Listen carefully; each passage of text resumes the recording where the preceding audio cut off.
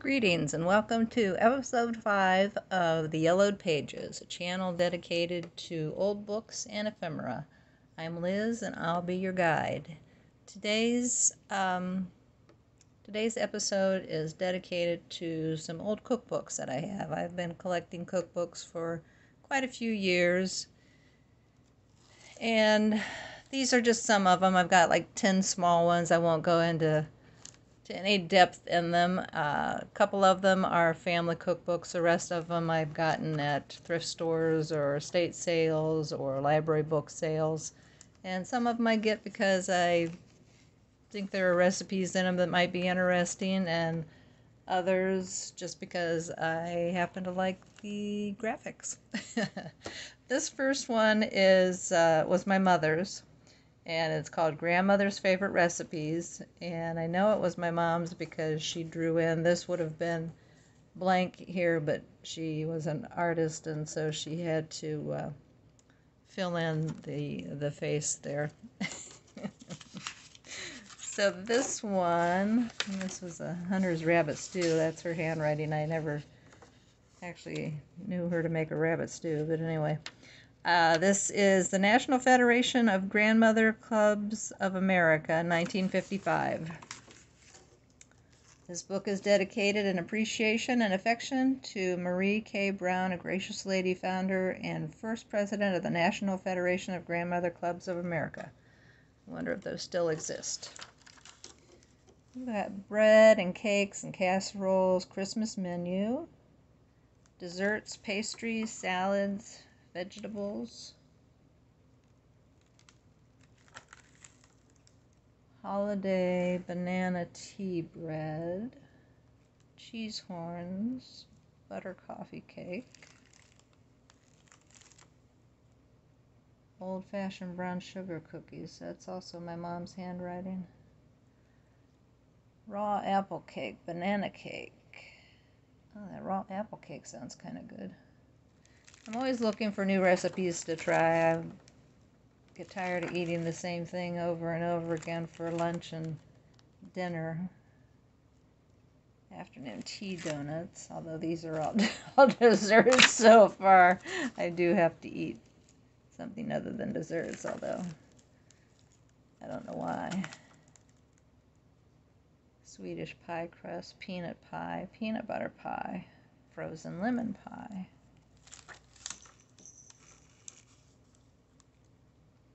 Double deck Bing cherry salad. Hmm. Gel avocado salad. I'm not a fan of, fan, fan of avocados, but surprisingly, for a grandmother's cookbook, there's very little dedicated to vegetables. You go, grandmas.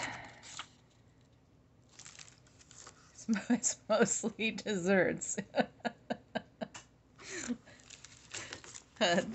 that is grandmother's favorite recipes. Next is, let's see, Jessie Marie DeBoth's cookbook. And I think this one my brother in law was getting rid of at a yard sale.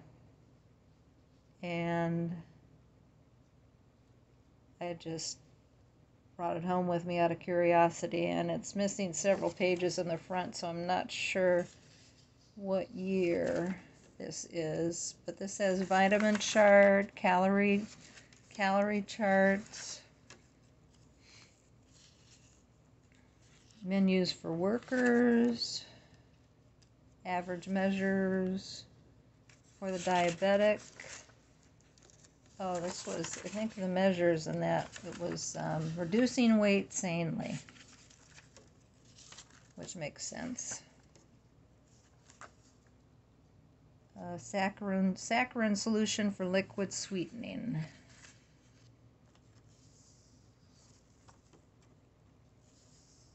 Meal planning and preparation, meats, shrimps, Baked with eggs, skewered fish, lima beans, Newfound, Newf, Newfoundshire, Newfoundshire, New, yeah, it's a cheese. I know that. I've used it in uh,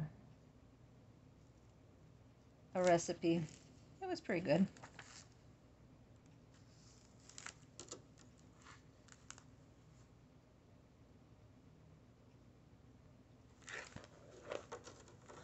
That is Jessie Marie DeBoth's cookbook. Next, we have the Loyalty Cookbook, Book 5, from the Native Daughters of the Golden West. And I know I found this one at the Humane Society thrift store. I got a couple of them. Excuse me, they had, I don't know, four or five of mostly the same edition. Uh, this is the Loyalty Cookbook, Native Daughters of the Golden West, compiled and published by Willow Borba, Sebastopol, Sonoma County, California. And they do still exist because I contacted them to see if they wanted one of these books, and I think eventually they got back to me and said that uh, they'd be interested if I wanted to get rid of one of them. And it's from evidently the um, the group is broken up into parlors. The daughters, native daughters of the Golden West, is broken up into parlors, like like troops or groups or whatever you want to call them. Because we've got member of Santa Rosa Parlor, uh, Verdugo Parlor, Manzanita Parlor. So I thought that was interesting, because I had never even heard of the Daughters of the Golden West.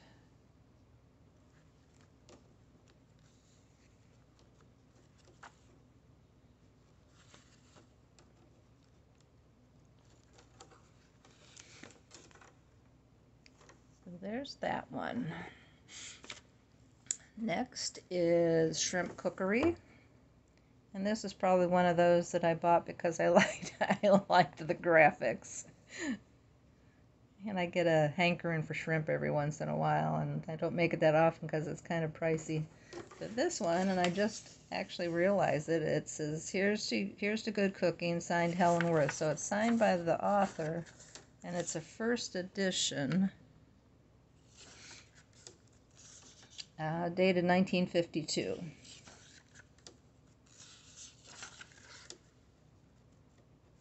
How to buy shrimp, how to prepare shrimp, general instructions for cooking shrimp.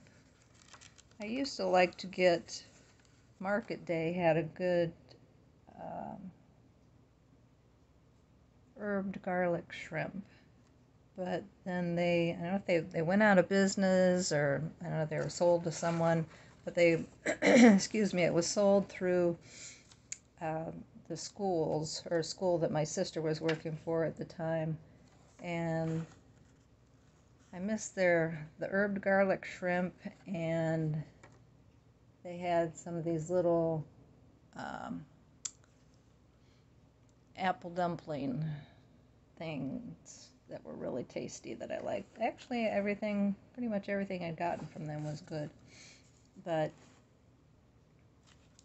so this is kind of like the I've got a I've got a Bubba Gump uh, cookbook too for shrimp cookbook, but here Helen Worth was ahead of ahead of her time. She was ahead of Bubba Gump and Forrest Gump, Bubba and Forrest Gump. Shrimp Creole. So that's the shrimp cookery. This one, I think, may have been my grandmother's because it has, looks like it has her name in the front. But, um, so this is the Good Housekeeping Book of Good Meals, How to Prepare and Serve Them, a guide to meal planning, cooking, and serving. The Good Housekeeping Institute. Katharine A. Fisher, Director. Uh, first edition printed February 1927. And sixth edition, edition printed August 1928. So my grandmother would have been, whenever she got it, would have been 27 or 28, about that time because my mom was born in September 1922. So, I don't know. My grandmother was a good cook. I don't know that she. It looks like it was used, so maybe she did did use it, but I never knew her to really use a cookbook. I think she just cooked stuff the way she wanted to. It always turned out good.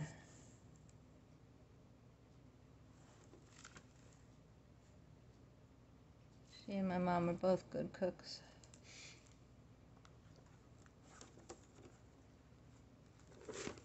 So that's good meals and how to prepare them.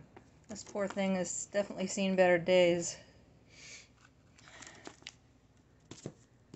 Next is the burger book, and this is one that I think I probably I probably got because of the graphics.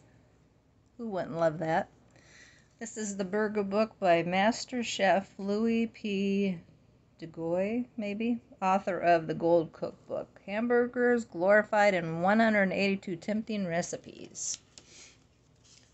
And this has a clipping somebody cut out in the front. Says, This one sounds delicious. Veal cutlet with chocolate sauce and chopped peanuts. Mary collects recipes from the newspapers. Sometimes they turn out even more gruesome than they sound. That's true. I like to try different recipes. I've had some epic failures and some some uh, really good successes. So luckily the successes out outnumber the failures, but when I fail, I fail really really big. Bungalow burger dinner, broiled spicy burgers, budget burger stewed dinner, Burger applesauce casserole. Hmm, I don't know about that one. Burger pot roast dinner. Burger rarebit. Burger and sauerkraut balls. I don't know. Burger soup. Burger spaghetti. Burger stuffed tomatoes. Burger loaves. I assume that's like a meatloaf.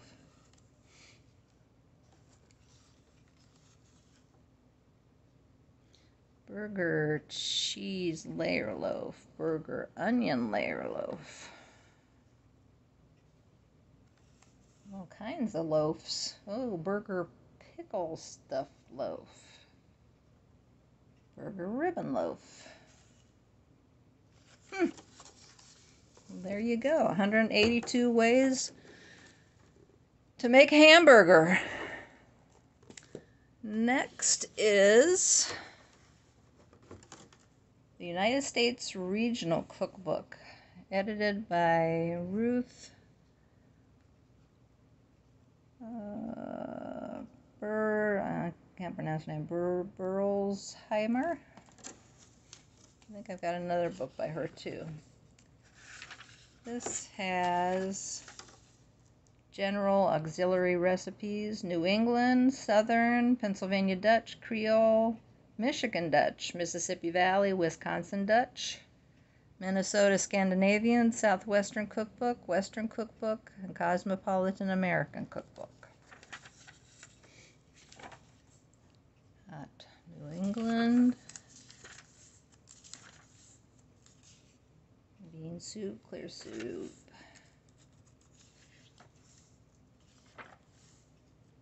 Egg and cheese dish. Johnny cake. Blueberry cake, that sounds good. Hmm.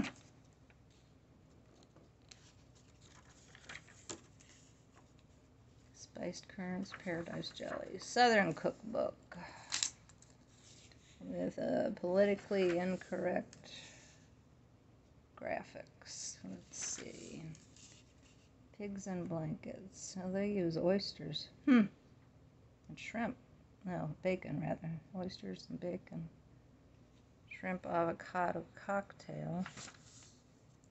Kentucky burgoo, okra soup. Not a fan of okra. Oh my.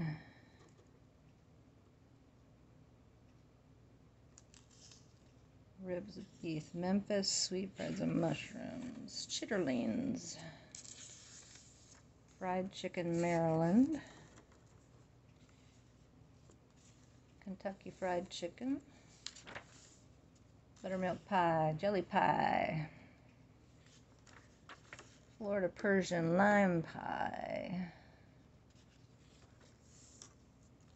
bride's cake, orange sponge cake, fruit cake.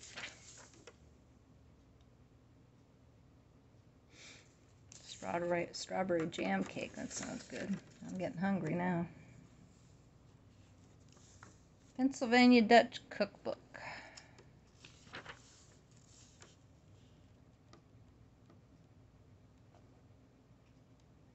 Flash and flash and cost. Literally, meat and cheese to be served with beer. Oh, this one. Hamburg eel soup. I think I'll have to pass on that, thank you. Wiener Schnitzel. Scrapple. Schnitzel meat.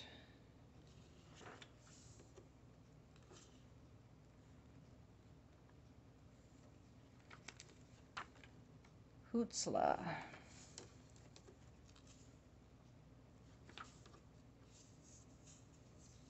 Schwetzenkuchen, plum cake.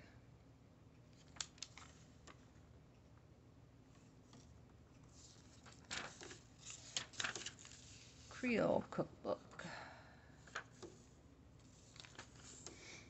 Jambalaya shrimp.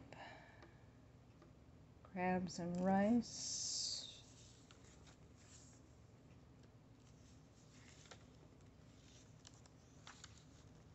Louisiana eggplant casserole. Puff paste, declares. Mmm. Napoleon's. Flaming coffee. Cafe Creole. Champagne cup, claret lemonade, brandied peaches.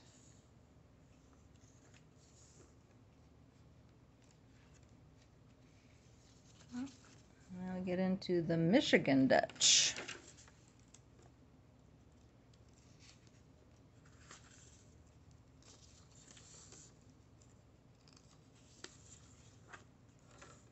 Oyster salad, red cabbage salad, graham bread.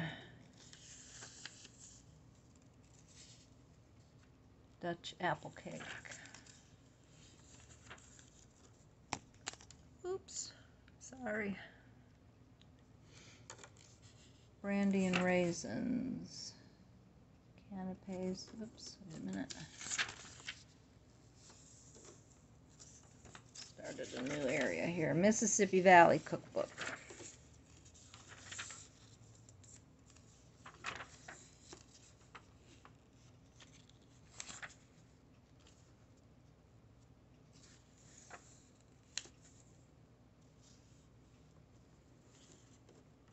On crumb pie crust, American persimmon pie. Shortcake.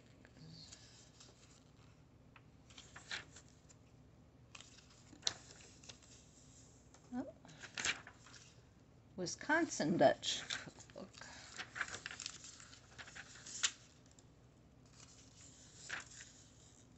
Love crawfish, pickled herring, lake trout with horseradish sauce. Sauerkraut Viennese. Hmm. Uh, Minnesota Scandinavian.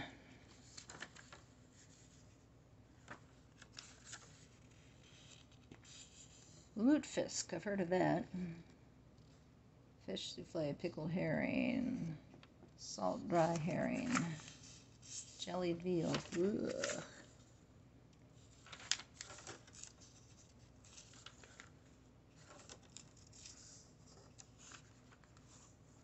Uh, Southwestern cookbook.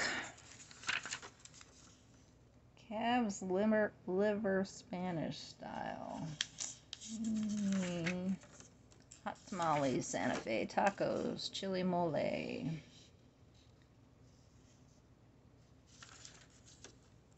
Pollo Relleno. Chicken with mole sauce. Chiles rellenos. Chiles frijoles. Phoenix enchiladas. Fresh apricot upside down cake. Apache acorn soup. Mesquite bean cakes. Uh, Western cookbook.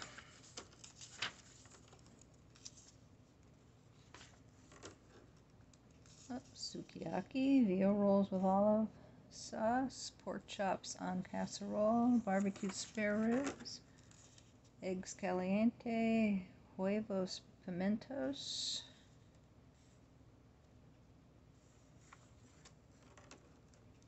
A little bit of every influence in the Western cookbook Asian, Mexican.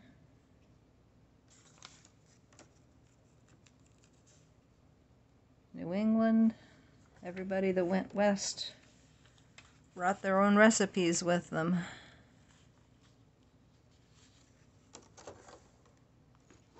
So that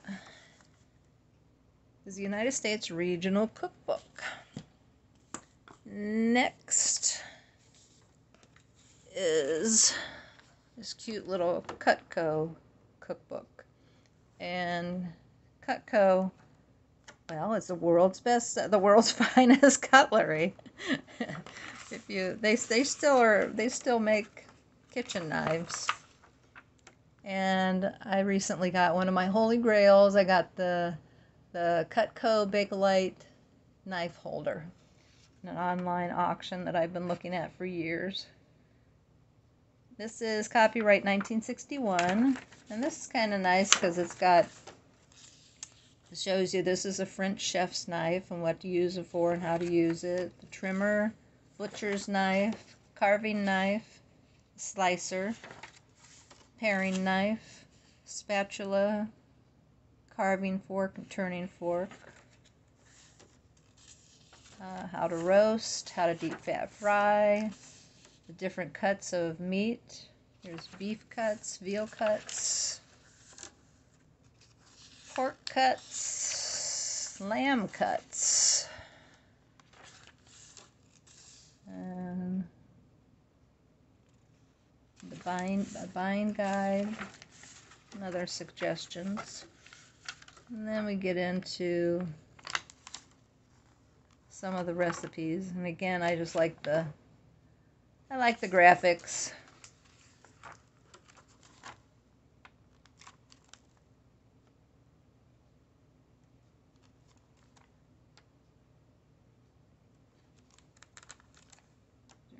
Ham and pork and lamb, veal, beef, sauce, poultry, and outdoor cooking.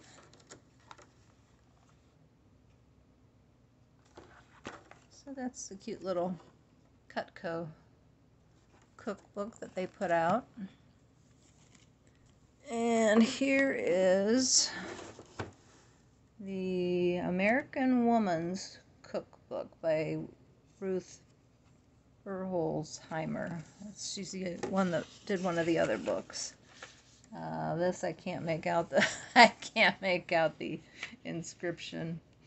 Uh, she's the director of the Culinary Arts Institute. Copyright 1944. Copyright 1938. So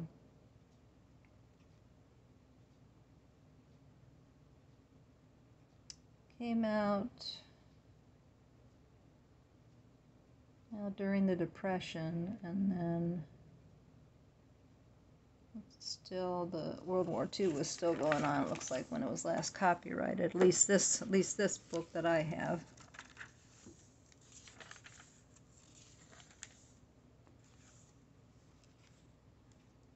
Have some color plates here. Potato bread, world oat bread. Oh, that's nice kinds of glasses. A table tumbler, highball tumbler, iced tea tumbler. Silverware, knives and forks, a list of useful serving pieces, spoons, linen, tablecloths, napkin, monogramming.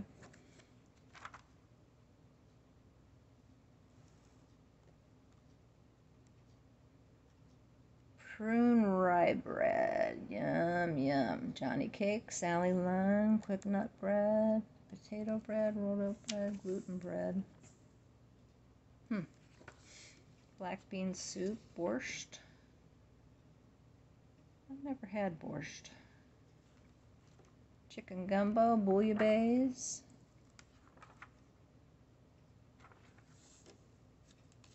Oh, here's another chart for meats hand broiled steak.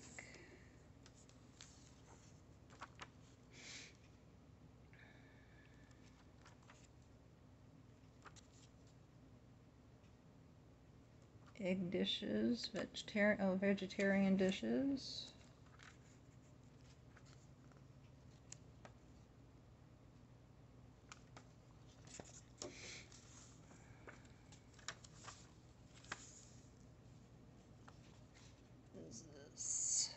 Candies and desserts.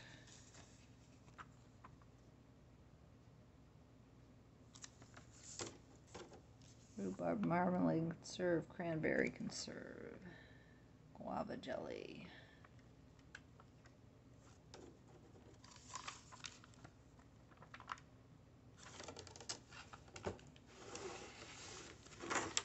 So that was the American Woman's Cookbook. And last but not least is Prudence Penny's cookbook. And this one was my mom's. And my dad got it for her in February of 48. and my parents were married in November of 1946. And my oldest sister was born in August of 48. So, and this was this first reprint edition is from 1947. The copyright was 1939. Dedicated to all the men in the world who like to eat. And I think if I'm remembering correctly, the story behind this is that there was a store that had a fire downtown, and this book got some water damage, and so it was on sale or free or something, and so my dad went down and got it from my mom.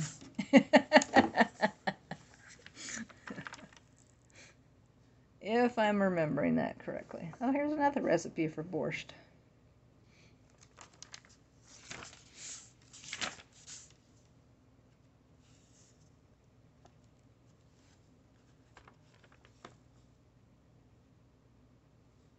Corned beef hash.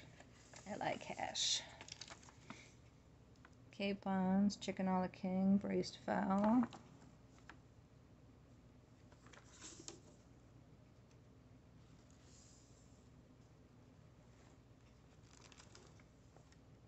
Potato cakes.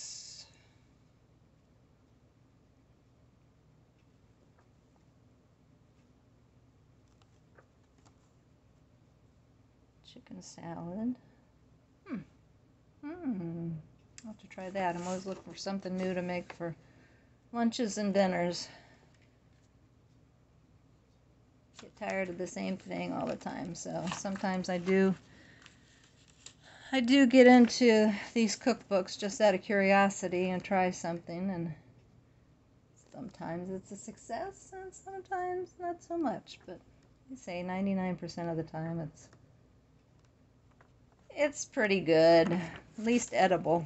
There have been times where there was something that was just so bad that I, I could only like eat it once or twice, and it's like, nope, can't do this anymore. I don't know if it was my cooking or the recipe that just really stunk, but Oh, and this one, this one has um, favorite recipes of the movie stars too. So you got Wallace Beery's baked beans, Pat O'Brien's English beefsteak pie, Robert Montgomery's bouillabaisse from New Orleans. Uh, let's see, Spencer Tracy's baked stuffed fish. James Stewart's baked ham, sauteed kidneys a la William Powell, Dick Powell's baked noodles, Slim Somerville's pineapple omelet, Gary Cooper's pancakes, Johnny Weissmuller's raisin pie, Victor McLaglen's ruby pie, Don Ameche's spaghetti, Joel McCrea's barbecued steak. I love Joel McCrea. Clark Gable's broiled steak. Robert Young's steak and kidney pie. Along with Robert Young's rich pastry. And Tyrone Power's Russian steak. Well, now that I'm starving to death, I gotta go get something to eat. But that brings an end to episode 5 of the Yellowed Pages on cookbooks. And thank you for watching. Happy cooking, happy reading, and take care. Bye.